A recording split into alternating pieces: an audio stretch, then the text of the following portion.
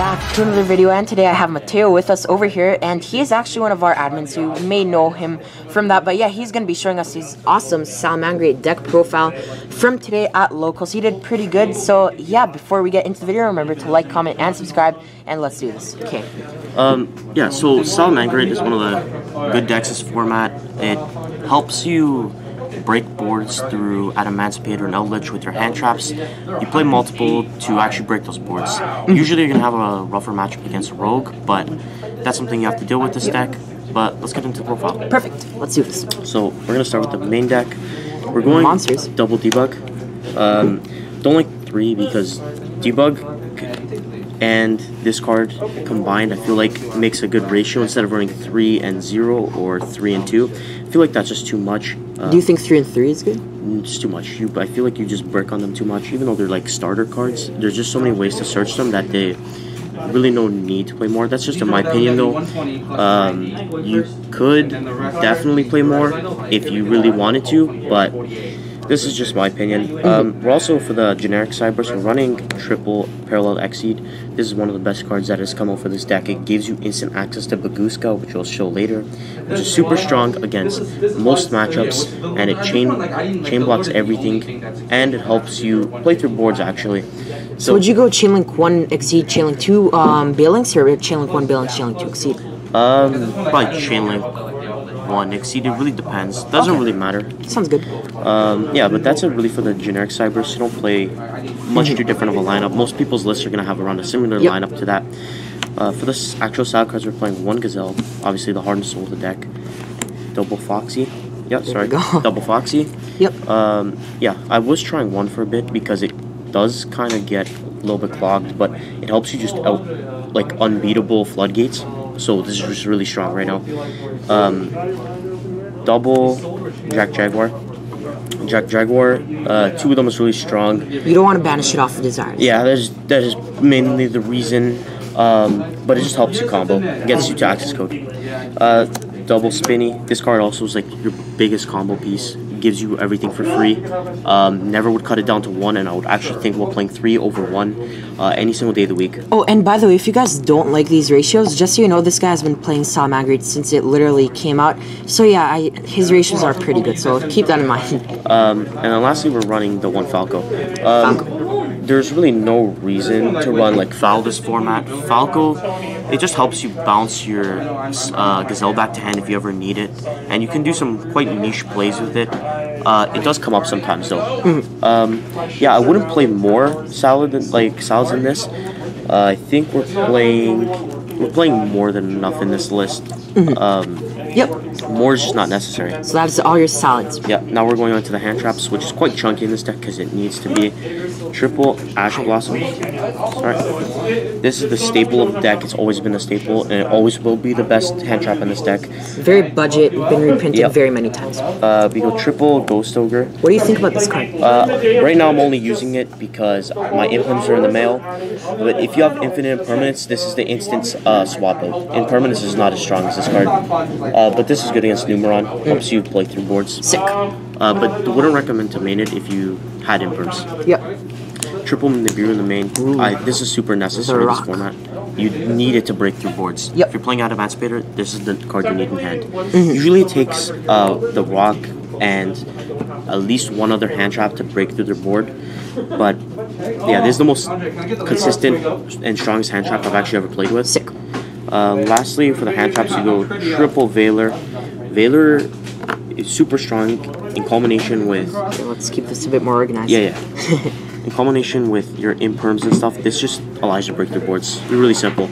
And it stops your opponent from doing anything else. And then lastly, I wouldn't really consider this a hand trap. This is just your free plus two, or your free plus. Uh, it's uh, Phantazmay. Always been a staple in the deck. Yeah. This and Imperium. How many hand traps are you running in total? Uh, 14. and do you ever brick on them? Like, probably not. Um, hand traps in this deck are like crucial. So even if you open five hand traps, it's strong. It's not like you're breaking on hand traps. Cool. Um, that is so- it for the monsters. Let's get into the spells over here. Spells, obviously, like the best spell in the deck is Pot of Desires. Um, Pot of Desires gives you instant access to anything you need, and Two is mathematically incorrect. yeah, that is that is factual. Um, Factual. Desires is just super strong and solid because you're never really banishing something you don't need. So it's always going to be super strong. Perfect. Um, so yeah, three desires. Uh, the one circle and then the triple mining. So this is your drop or like search power. So you have five gazelles, which sounds like a lot, but it really isn't, Yeah, considering I that mean, you could have eight or you seven. also have more because of your Your debugs. debugs. You have chances to draw them. Like you have a lot of gazelles, so yeah, you're good to go. so, yeah. This is just a standard ratio. You can't play more. You, or you obviously can't play more. Also, to all of you budget players, reprint. Yep. It got reprinted. um, yeah, this card is super important to the deck. You can't like you can't play it without it. Um, yeah. So this is our search and draw Cool, power. cool. Uh, for the salad spells, uh, we're just using double will. Triple will is not the call this format. Uh, it's way too bricky. I would even consider playing this at one because it just ends up clogging your hands. But two is really solid right now, and one sanctuary. Uh, this is the brick, but you have to play for Balelynx. And even if you do jar, it's not the end of the world. Yeah. Uh, for the traps, we're playing one of each. Uh, this is mandatory, no more, no less. Uh, yeah, this is It's not two and two anymore because you actually have good cards to be running in Yeah, the deck. that's true. Cool. So, extra deck over here. extra deck, we're going triple Balelynx. Mandatory. Yeah, strongest card. I played two for the longest time, but two you can't run with anymore. You need three. You're summoning all three of them most of the time, any single grind game. And the grave effect is amazing. It Yeah. doesn't even activate. triple Sunlight Wolf. Uh, this card's just standard. It's like the best link in the de- in the deck. It really just helps you play through everything. It baits in the gate. It's super strong. Mm-hmm. Uh, lastly, we go double Helio. You don't need more than this. I, I would like. I really don't like this card, but you just have to play it because it's just strong enough to run, but it's not str- like weak enough to cut. Yes. Yeah, this is just a standard salad lineup. Can't play more. It, there's no space. So now we have the Power Five, I call Oh. it. So we got the Access Code, Transcode, Update, Splash Mage, and uh, The Linguriboh. power five right here. Yeah. So these just give you access to the absolute broken access code OTK, which just is gonna consist of you targeting. It's over 10,000 damage. Yeah.